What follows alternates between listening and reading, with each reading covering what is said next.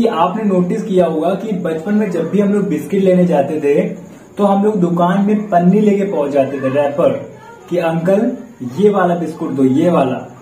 Why we did it हम लोग to this channel this विकार and in this session we are going to discuss about what is language क्योंकि हम लोग language सीख तो रहे हैं और हमें हिंदी बोलना भी आता है और हम लोग अब इंग्लिश सीख रहे हैं।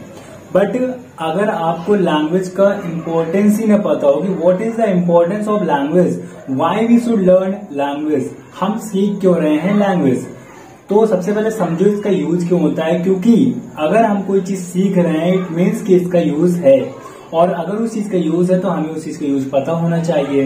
तो सबसे पहली चीज़ मैं आपको simple short and simple cut में आपको बता दूँ कि लैंग्वेज जो होती है कि अपने थॉट्स को, अपने इंफॉर्मेशन को जो मेरे पास है, किसी को कन्वे करने के लिए या फिर शेयर करने के लिए, हमें एक मीडियम की ज़रूरत होती है दैट इज़ लैंग्वेज और medium should be same for both person अगर आप दो लोगों के बीच में बातचीत हो रही है कम्युनिकेशन हो रही है इट मीन्स कि कोई इन्फॉर्मेशन शेयर हो रही है। और अगर कोई इन्फॉर्मेशन शेयर हो रही है दैट मीन्स कि हमारा मीडियम क्या है? सेम है। तो सबसे पहले चीज़ आपको बता दूँ कि आपने नोटिस किया होगा कि बचपन में जब भी हम लोग बिस्किट लेने जाते थे तो हम लोग दुकान में पन्नी लेके पहुँच जाते थे रैपर कि, अंकल, ये वाला बिस्कुट दो, ये वाला। वाई वी डिड इट हम लोग ऐसा क्यों किया? क्योंकि on that time we didn't know the particular name of the biscuit biscuit का हमें नेम पता नहीं होता था। क्यों? क्योंकि हमने नाउन की जो स्पेलिंग होती है, उस पर कभी ध्यान दिया ही नहीं। और हम लोग लेके पहुँच जाते थे अंकल ये वाला बिस्कुट, दे दो। तो वाला बिस्किट मिल जाता था, हम लोग लेके चले आते थे। तो सेम एग्जैक्ट अगर आपको किसी चीज़ की मान लो कि आपको उसको इंग्लिश में क्या बोलते नहीं पता। तो you can not speak proper sentence in a fluent way तो फ्लुएंसी के साथ में आप उस सेंटेंस को क्लियर नहीं कर पाओगे। क्यों? क्योंकि आपको उस पर्टिकुलर वर्ड की इंग्लिश नहीं आती है। सपोज़ दैट कि ये जो मैक लगा हुआ है मेरे, और ये आपको दुकान में जाना है खरीदने।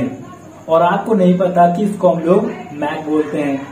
तो आप वहाँ चले जाएँगे और बोलेंगे, अरे वो वो दे दो यार, वो जो यहाँ पहना जाता है, उससे बोलते हैं हम लोग, वो। तो आपने क्या किया? टाइम को किल किया। और बहुत ही कम चांस है कि सामने वाले को आप समझा पाए what actually do you want कि आप चाहते क्या हो। तो लैंग्वेज अगर आपको आती है तो easily you can share your points what you want ठीक है कि आप क्या चाहते हो? तो सामने वाले इजिली आपको कम समय में आपकी बातें जल्दी समझ के आपको पर्टिकुलर चीज़ को दे देगा।